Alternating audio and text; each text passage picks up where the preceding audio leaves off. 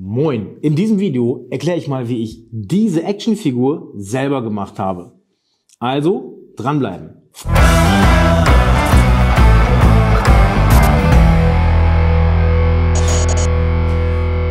Okay, ich habe letztens also bei YouTube ein Video gesehen, da hat jemand sich selber eingescannt. Dafür hat er eine ganze Menge Fotos von sich selber gemacht, aus verschiedenen Positionen, das Ganze in eine Software reingeladen und die hat dann daraus halt so ein 3D-Modell berechnet. Ähm, fand ich ganz cool. Ich habe aber gedacht, eigentlich wäre es ja geiler, wenn man so eine Art Actionfigur hätte, die man auch bewegen kann. Also die Arme bewegen kann und die Beine bewegen kann, damit man damit auch ein bisschen noch Blödsinn machen kann und damit auch ein bisschen besser spielen kann. Ähm, deswegen habe ich gedacht, eigentlich würde es erreichen, den Kopf einzuscannen, die Hände und ja, Füße, Schuhe. Und so ist halt der hier entstanden. Das bin ich in klein. Das erste, was ich gemacht habe, ist, ich habe mir verschiedene Apps gesucht, die halt Gesichter oder Köpfe scannen können. Es gibt verschiedene Apps, die sowas können. Ich bin zum Schluss bei Bellos 3D gelandet. Ich zeige mal ganz kurz, wie die App aussieht, wie die funktioniert. Ich zeige mal einmal ganz kurz hier vorne. Jetzt sieht man hier schon, ich muss ein bisschen näher ran. So, jetzt ist es grün. Ich möchte gerne scannen meinen ganzen Kopf und dafür okay, in die Kamera schauen den Kopf zur Seite bewegen. Okay. Das Ganze nochmal zur anderen Seite. Zurück. Dann einmal nach oben und einmal nach unten. Okay. Jetzt wird das Ganze hier durchgerechnet und wir können gleich einmal gucken, wie es aussieht. So, jetzt kann man hier schon sehen, so sieht das Ganze dann aus.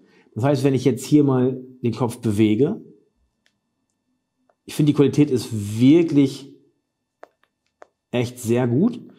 Ähm, jetzt ist hier noch ein Wasserzeichen drüber. Ähm, ich muss das Ganze jetzt erstmal speichern.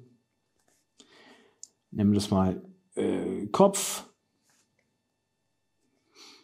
So, jetzt wird das Ganze in die Bellus 3D Cloud geladen.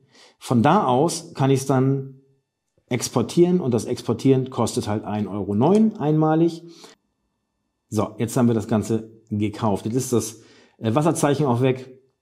Und wenn ich das Ganze jetzt exportiere, dann in HD und ähm, so, und dann kann ich mir jetzt aussuchen, ob ich das Ganze als OBJ oder als STL-File exportieren möchte. Ich habe das Ganze als OBJ exportiert.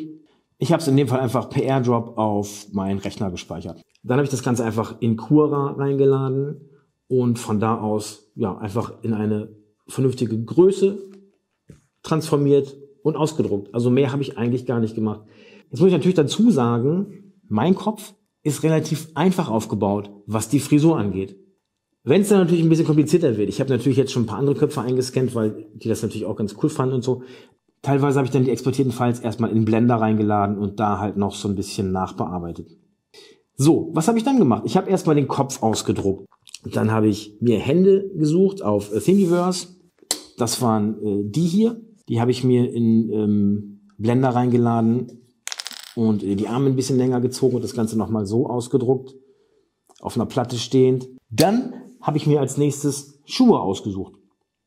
Da habe ich zufälligerweise welche gefunden. Das sind äh, die hier gewesen. Ich glaube, das war jetzt auch nicht bei Thingiverse, sondern auf einer anderen Seite. So, dann bin ich da hingegangen und habe erstmal den ganzen Kram angemalt. Dafür habe ich Acrylfarben genommen. Und das Anmalen ging eigentlich viel leichter, als ich mir vorher gedacht hatte, weil ich muss ja gar keine Schatten malen. Ich habe im Endeffekt mir eine Hautfarbe angemischt und habe dann erstmal den ganzen Kopf in Hautfarbe angemalt. Die Schattierungen kommen natürlich, weil das Ganze ja ein 3D-Objekt ist, von ganz alleine dazu. Ähm, bisschen schwierig wurde es bei den Augen, weil es doch ein bisschen Knibbelarbeit war und den Bart, naja. Aber wie gesagt, letztendlich ist halt dann das daraus geworden hier. So, dann habe ich die Hände angemalt, die Schuhe angemalt und so weiter. Dann habe ich ganz einfach in die Hände von unten rein und in die Schuhe von innen und in den Kopf von unten in den Hals rein Loch gebohrt. Hab das Ganze, hab mir dann so ein Drahtgerüst gebaut, also wirklich ganz einfach zwei Drähte in den Kopf reingesteckt, die bis nach unten gehen und da dann die Schuhe dran. Dann habe ich hier oben einfach einen Draht drum gezwirbelt, der nach beide Seiten rechts und links ging und da die Arme dran gemacht. So sieht das Ding hier von innen aus. Dann habe ich meine Schneiderin, meine Modedesignerin, die auch schon die letzten äh, Earthling Shirts letzten Sommer designt hat, äh, gefragt und die hat mir natürlich gerne geholfen. Ida, Dankeschön nochmal. und hat mir diese kleine Jeanshose genäht, diesen Kapuzenpullover genäht, ja, so dass ich das einfach alles hier noch anziehen musste, habe das Ganze ein bisschen mit Watte ausgestopft. Ähm, ich habe den Hinweis bekommen, am Bauch müsste noch ein bisschen mehr Watte rein. Das habe ich hier gemacht. Ich hoffe, es passt mittlerweile ganz gut. Okay, so habe ich diesen kleinen Minimi also gebaut. Also das war wirklich kurz und schmerzlos, schnell erklärt. Das ist wirklich echt schnell gemacht. Ja, so.